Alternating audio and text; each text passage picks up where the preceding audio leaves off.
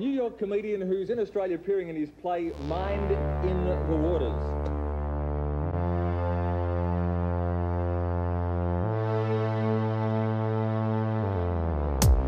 Please welcome Lee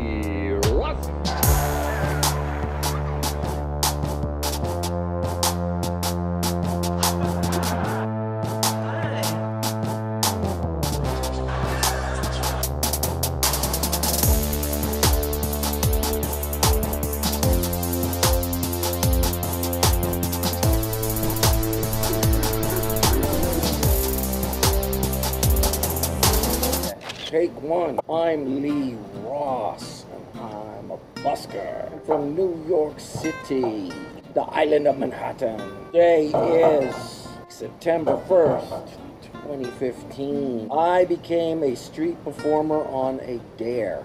16 years old. David Ramsey was a magician. Uh, we went to high school together. Everybody knew me as the mime. My high school yearbook has a photo of me leaning on nothing. I am 51 years old. And I was wearing whiteface doing a acting scene because we went to high school of the performing arts, the movie Fame. David dared me to go out on 6th Avenue during lunch hour and fuck with the people. I'll give you $20 to go fuck with the people. Go do your mimey thing. That's how it started. I went out there and I made my first, I don't know, 25 bucks on 6th Avenue during lunch hour, and that was it.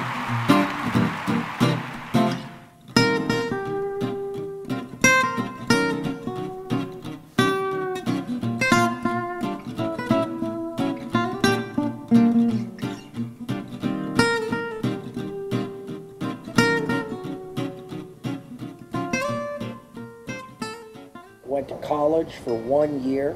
I decided let's go to France and study at the great mime schools of France. So David and I packed our gear up, took our street performing life to Paris in 1984, studying at the famous Jacques Lecoq School of Theater, along with another one called Etienne de Cruz, the godfather of modern mime. I have returned to busking on Pearl Street Mall here in Boulder, Colorado. I am back to doing my old show. It took me approximately 25 shows to get back to kind of the old Lee. I had massive hip replacement surgery and same old crap.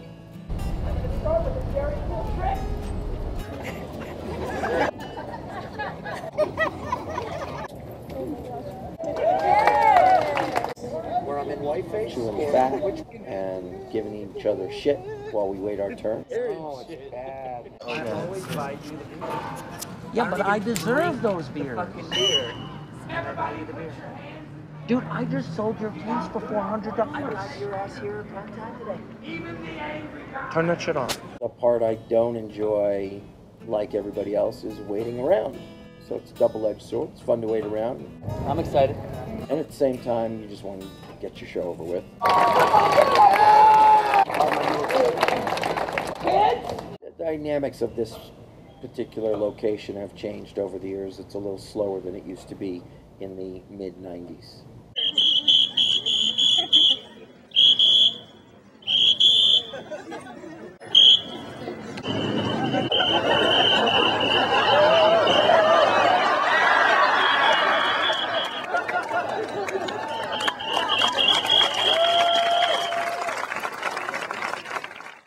Wasn't until doing stand up that I kind of felt more like, ah, now I'm on stage, real audience. Late night shows and a- afternoon shows, so like their version of Ellen and their version of Letterman in Australia. So those were in my late 20s. I did a number of shows there.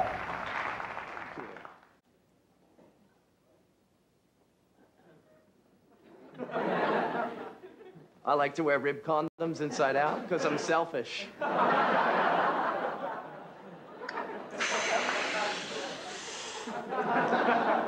stud. The giant condom fish can grow up to 22 inches. 29 if it is black. the giant condom fish can disguise itself in many different ways. Today we found this particular condom fish disguising itself as Lionel Richie. Say you, say me. Kimosabi. Kimosabi. A white man.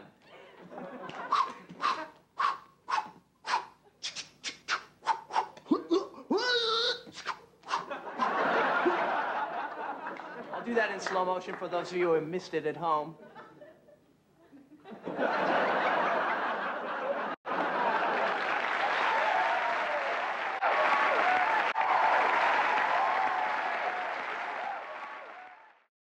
Kind of went into stand up and got rid of the face. And you can't really use mime in your own everyday life that much. I like doing this in the airport next to that conveyor belt. I got my own. See you later. just one of the most perfect street shows I've probably ever had in the center of all of downtown Brisbane and the intersection of the their version of the outdoor walking mall. I did 30 minutes of verbal following. It was the perfect setting for me. People would go up and I would dub in whatever they were saying. We all stayed for about an hour and a half. Like the two hats were the most full I could have gotten them. I've had a couple of different accidents over the years. I used to take a, a straw, put it in a woman's mouth. I was pretty good with a bullwhip. A lot better than Sam. God bless you, Sam. when you line up the bullwhip, you have to go backward and up and then forward. I was out of it or something and I, I flipped it up and it clipped her in the chin really hard, just the end of it. And the husband was like, nope, she's done.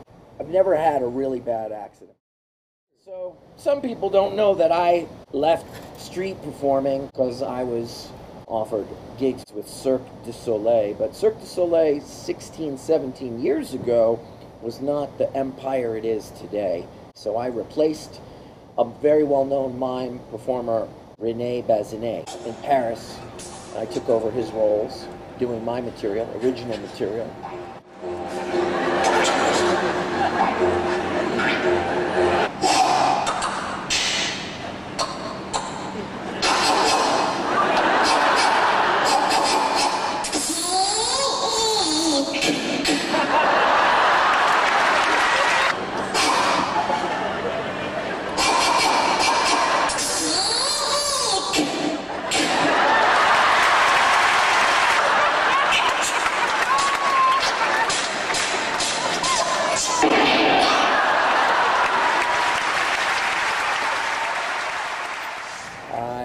Into screenwriting and producing. Lee has a movie on Netflix. Downloading Nancy is a dark thriller about the first time the internet was ever used to really kill someone. New movie coming out is called Benjamin Troubles, about a pair of magic jeans that produce a hundred dollar bill every hour on the hour. Shit's going down. So, busking in your own words is all about the some of those other performers, they'll be like, ah, yeah, Lee, Lee, he just wanted to. But that's not really answering the question. Perseverance. Persistence. Yes, the Matrix. And technique. I've had a really great night. Thank you for watching. Please participate by dropping something in the hat and keeping Street Theater alive in Boulder. Thank you. That's what you gotta have to get that crowd.